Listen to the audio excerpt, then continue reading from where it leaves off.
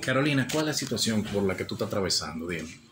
Hay un muchacho que hace ya varios días que me estaba molestando a la niña. Incluso que él fue hasta pedirme la mano y yo le dije que no, porque era una niña, cuando él fuera 11 años que tenía. Y él tiene, yo puse que era 20 porque pensaba que era 20, me dijeron que eran 23 que tiene. Entonces yo le dije que no, que es una niña y un hombre ya mayor delante de ella, que ella estaba para estudiar. Y entonces ahí yo la mandé para acá, para que me dejara de molestarla. Pues aquí también llegó a venir a buscármela, me dijo mi tío que me llamó. Entonces el viernes yo creo que ella sale para el colegio porque sale con mi otra hija y le dice a mi abuela que ella se iba para el colegio. Cuando yo vengo, que despachan, que yo veo que la otra me dice que ella nunca llegó al colegio, nosotros salgamos a buscarla. Y fui a la fiscalía el mismo viernes. Me dijeron que fuera el sábado, porque ya iban a cerrar. Y el sábado cuando fui, ellos me pusieron una orden de arresto. Todavía no ha salido. Y todavía te de hoy que todavía no sé nada de la niña.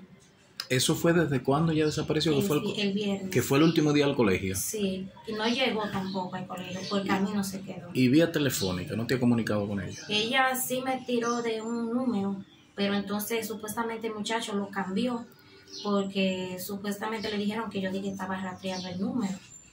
Y el, el, yo me mandaron un video del portero del colegio y la novia del portero, que es amiga de la niña, a donde se ve que ellos me la llevaron el miércoles a la casa del muchacho dije para que planearan cómo era que le iban a hacer la vuelta para lo hice. Ah, pues el portero del colegio debe saber algo. Eso me dijeron que investigara con el portero.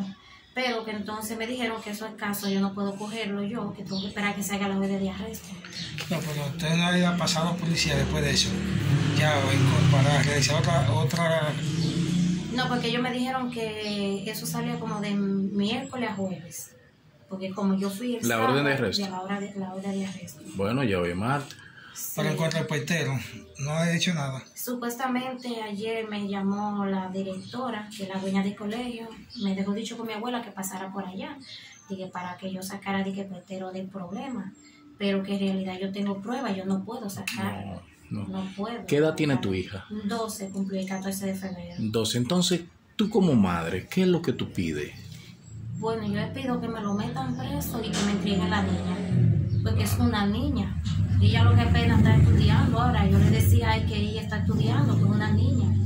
¿Con quién tú hablaste en el tribunal de menores? Eh, no, en nombre del fiscal, yo no. Tú hablaste con un fiscal. Sí, con el fiscal. Entonces él te dijo, Que desde que salga la orden de arresto, una vez salían a buscar lo que a él en realidad le toca cárcel. ¿cómo se llama el joven que se llevó tu hija? Le dicen a Neuri. A Neuri. No, no saben por dónde vive. Sí, en la compuesta, calle 3, número 16. Ah, él es de la compuerta. Que supuestamente, según me dicen, que a él lo andan buscando también por, di que, que llegó un haitiano, di que por muerto, casi mete, di que para atracarlo, y por armas de fuego. Supuestamente, digo así porque eso fue lo Sí, que sí, sí. Yo lo que más estoy procurando es lo de la niña. Tu hija, que vuelva a la casa. Que vuelva a la casa Y que pague y que pague él por- porque es una niña, aunque a ella se haya, aunque ella se haya ido por el gusto, pero es una niña. Ella no sabe nada de eso todavía. Eh, ella estudiaba bien, ¿verdad? Claro, es tan buena estudiante ella. Ella está becada, ¿eh? la niña. Ok. Está bien, muy bien.